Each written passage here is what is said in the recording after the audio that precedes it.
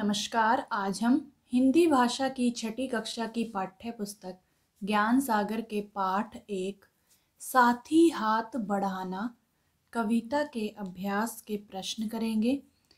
इस कविता की व्याख्या हम अपनी पिछली वीडियो में कर चुके हैं। यदि किसी बच्चे ने वह वीडियो नहीं देखी है तो आप प्लेलिस्ट में जाकर उस वीडियो को देख सकते हैं। और आपको यह वीडियो कैसी लगी कमेंट करके ज़रूर बताइएगा। तो आइए इस पाठ का पहला प्रश्न जो कि कविता में से है, शुरू करते हैं। मेहनत करने वाले मनुष्यों के मिलकर कदम बढ़ाने से सागर और पर्वत क्या करते हैं? कि जो व्यक्ति मेहनत करते हैं और मिलकर कदम बढ़ाते हैं एक साथ, मिलजुल कर कार्य करते हैं तो उनके आगे सागर और पर्वत क्या करते हैं? तो देखते हैं इसका उत्तर। मेहनत करने वाले मनुष्यों के मिलकर कदम बढ़ाने से सागर भी रास्ता छोड़ देते हैं और पर्वत भी शीश झुकाते हैं। अर्थात मिलजुल कर कार्य करने से, बड़े से बड़े और मुश्किल काम को भी अंजाम दिया जा सकता है। अगला प्रश्न, मेहनती व्यक्तियों का रास्ता और मंजिल कौन सी होती है? तो इसका उत्तर है, मेहनती व्यक्तियों का रास्ता नेक और मंजिल, सच की मंजिल होती है। अगला प्रश्न है हमारा, तीसरा प्रश्न, देखते हैं। उचित उत्तर पर सही का चिन्ह लगाइए। पहला देखते हैं, इंसान के अपने लेख की रेखा क्या है? आराम, मेहनत, कोशिश या सहजता? तो इन चारों में से जो सही ऑप्शन है इसका, वह है मेहनत, कि इंसान के अपने लेख की रेखा मेहनत है। एक से एक कतरा मिले तो क्या बन जाता है? दरिया, रास्ता, धरती, आकाश। तो एक से एक कतरा मिले तो दरिया बन जाता है। अगला प्रश्न, कविता की पंक्तियाँ पूरी कीजिए। फोलादी है डैश अपने, फोलादी हैं बाहें। हम चाहें तो डैश में पैदा कर दे राहें। तो इसे पूर्ण करते हैं। फोलादी हैं, सीने अपने, फोलादी हैं बाहें। हम चाहें तो चट्टानों में पैदा कर दें राहें। अगला देखते हैं। डैश गैरों की खातिर की, आज डैश खातिर करना। यानी कि कल गैरों के खातिर की, आज अपनी खातिर करना। अपना डैश भी है एक साथ ही अपना डैश भी एक। कि अपना दुख भी एक है साथ ही अपना सुख भी एक। अगला प्रश्न बातचीत से संबंधित।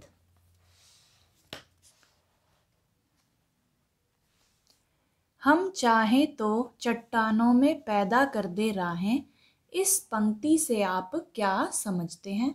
तो इसका उत्तर है, हम चाहें तो चट्टानों में पैदा कर दे राहें, इस पंक्ति से मैं यह समझती हूँ कि यदि मनुष्य किसी कार्य को करने का दृढ़ संकल्प ले ले तो उस कार्य को पूरा करने के लिए वह अपनी एड़ी चोटी का ज़ोर लगा देगा कि अगर किसी व्यक्ति ने कार्य को करने का दृढ़ संकल्प ले लिया है, दृढ़ निश्चय कर लिया है तो वह चाहे कितनी भी मुश्किल आ जाए, लेकिन वह उस कार्य को पूरा करने के लिए अपना पूरे मेहनत लगा देगा, अपने पूरी ज़ोर, अपना पूरा ज़ोर लगा देगा।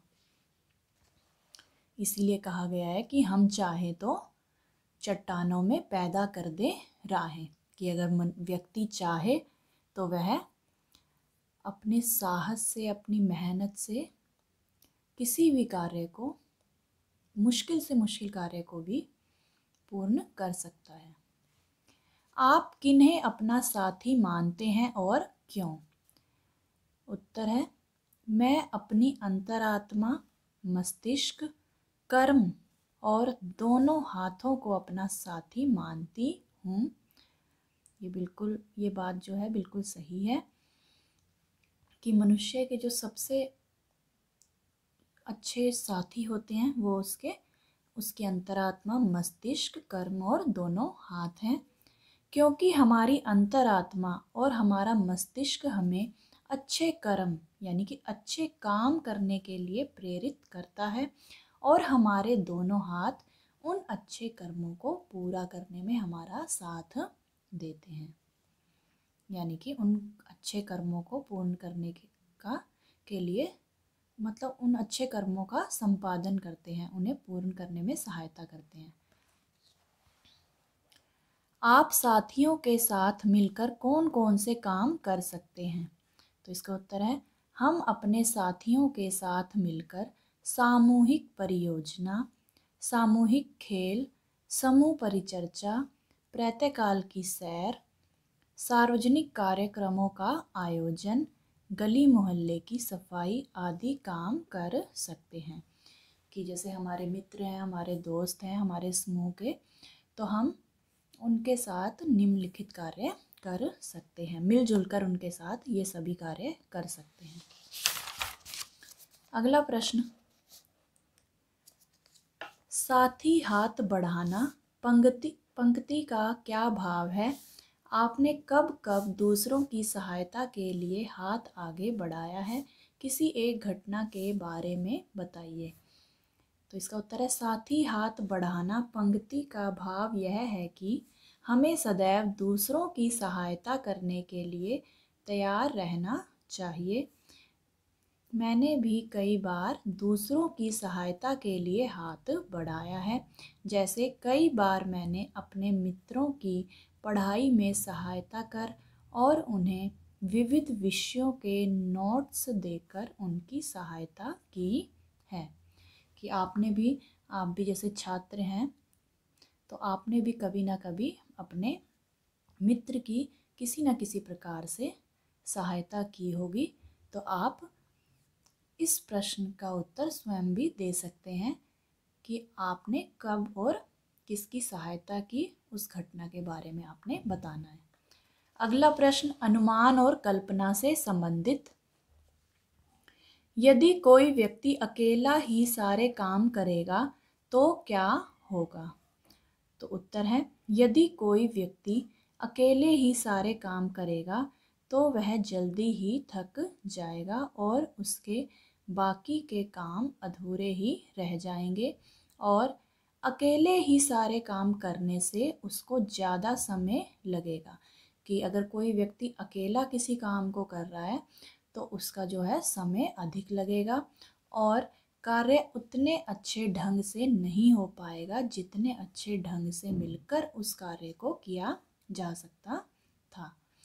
कि अगर कोई भी कार्य है, यदि उसे कुछ व्यक्ति मिलकर करें मिलजुल कर करें तो वह कार्य एक तो समय पर पूर्ण होगा और उस कार्य के जो परिणाम हैं वो अच्छे होंगे और कार्य भी सही ढंग से पूर्ण हो जाएगा। और अगर कोई अकेला व्यक्ति उस कार्य को करने में लगेगा तो उसका एक तो समय भी अधिक लगेगा और वो थक जाएगा, जिस कारण वो कार्य जो है अच्छे से नहीं हो पाएगा। उसके कार्य में सृजनात्मकता नहीं दिखेगी। अगला प्रश्न है, किन अवसरों पर लगता है कि सबका सुख दुख एक हो गया है, बताइए। उत्तर है, जब होली, दिवाली, क्रिसमस जैसे त्यौहार आते हैं तो लगता है कि सबका सुख एक हो गया है। सही बात है। कि जब भी कोई त्यौहार का अवसर आता है तो सभी जो है खुशियाँ मनाते हैं एक साथ मिलजुल कर। तो ऐसा लगता है कि सभी का सुख जो है एक हो गया है और जब देश पर कोई प्राकृतिक विपदा आ जाती है तो लगता है कि सबका दुख एक हो गया है कि जब भी कोई देश पर किसी भी प्रकार की जो प्राकृतिक विपदा आती है, जैसे बाढ़ आ जाती है कई बार तो तब हमें ऐसा एहसास होता है, ऐसा लगता है कि सबका दुख जो है वो एक हो गया है। हम भी उनके दुख को महसूस कर सकते हैं। जो भी मतलब इस विपदा से जूझ रहे हैं, हम उनके दुख को महसूस कर सकते हैं। अगला प्रश्न, जीवन मूल्य से संबंधित। साथी हाथ बढ़ाना, एक अकेला थक जाएगा, मिलकर बोझ उठाना। मेहनत अपने लेख की रेखा, मेहनत से क्या डरना, एक से एक मिले तो इंसान बस में कर ले किस्मत। अब प्रश्न देखते हैं, क्या कवि ने सबको मिलकर मेहनत करके किस्मत बदलने की बात कही है? तो इसका उत्तर है हाँ कवि ने सबको मिलकर मेहनत करके किस्मत बदलने की बात कही है। ये देखिए, यहाँ पर कहा गया है, साथ ही हाथ बढ़ाना, एक अकेला थक जाएगा, मिलकर बोझ उठाना।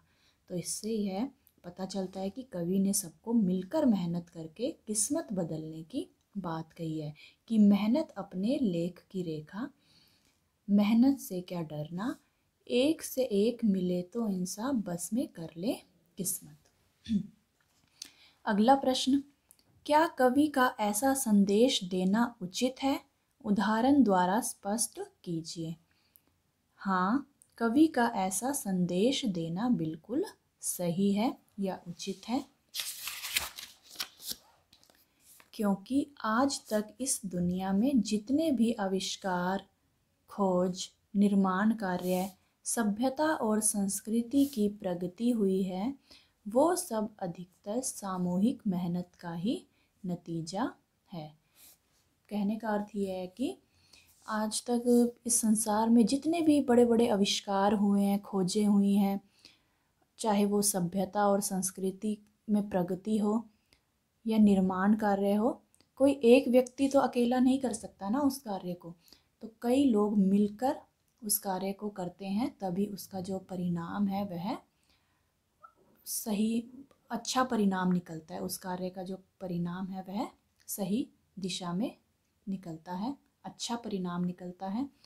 तो हमें इस कवि ने यही कहा है इस कविता में कि यदि हम मिलजुल कर किसी भी कार्य को हाथ में लेते हैं तो वह कार्य जो है सही समय पर और सही ढंग से पूर्ण होगा। अगला प्रश्न है, भाषा की बात से संबंधित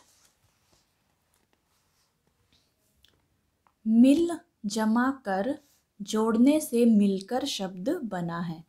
ये दोबारा देखते हैं। मिल जमा कर जोड़ने से मिलकर शब्द बना है। अब आप भी तीन शब्दों में कर जोड़कर नए शब्द बनाइए। जैसे ये कर कर दिया हुआ है तो हमें इनके आगे कोई और शब्द लगाकर नया शब्द बनाना है। जैसे पहन जमा कर पहन कर देख जमा कर, देख कर, चल जमा कर, चल कर। तो इसके अलावा भी आप कुछ और भी शब्द इनके आगे लगा सकते हैं, जैसे सो, जमा कर, सो कर। ठीक है? और हंस, जमा कर, हंस कर। तो इस तरह से आप नए शब्द बना सकते हैं। अगला प्रश्न है, हाथों के तोते उड़ना। हाथ से संबंधित मुहावरा है। अब आप हाथ पर तीन मुहावरे ढूंढकर लिखिए और उनका वाक्य में प्रयोग कीजिए। जैसे कि ये दिया गया है, हाथों के तोते उड़ना। ये हाथ से संबंधित मुहावरा है। तो अब हमें भी हाथ पर तीन मुहावरे और लिखने हैं और उनका वाक्यों में प्रयोग करना है। तो हमने पहला मुहावरा क्या बनाया? हाथ साफ़ करना। तो हमें केवल वाक्य में प्रयोग करना है। आप इसका अर्थ भी जान लीजिए। हाथ साफ़ करना, यानी कि चोरी करना। भीड़ भरी बस में चोर ने मेरे पर्स पर अपना हाथ साफ़ कर दिया। अगला मुहावरा, हाथ पैर फूलना। अर्थ होता है इसका, डर से घबरा जाना। पुलिस को देखते ही चोर के हाथ पैर फूल गए। अगला मुहावरा हमने बनाया, दोनों हाथों में लड्डू, यानी कि अर्थ है इसका दोनों ओर से लाभ। वाक्य क्या है इसका? जब से मोहन की लॉटरी लगी है, तब से उसके दोनों हाथों में लड्डू हैं। तो आप कोई और भी हाथ से संबंधित और भी मुहावरे जो हैं, बना सकते हैं और उनका वाक्य में प्रयोग कर सकते हैं। आशा करती हूँ आपको यह प्रश्न अच्छे से समझ में आ गए होंगे। तो मिलते हैं अगली वीडियो में। तब तक के लिए नमस्कार।